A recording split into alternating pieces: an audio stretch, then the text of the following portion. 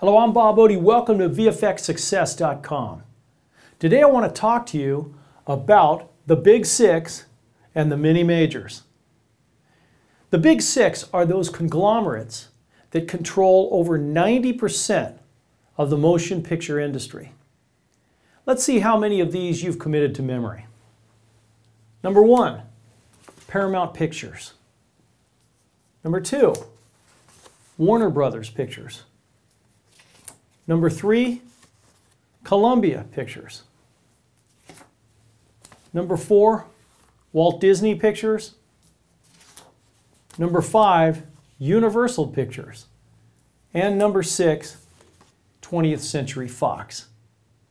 Those are the six conglomerates that control 90% of the industry. But what about the other 10%? That's divided amongst independents and mini majors.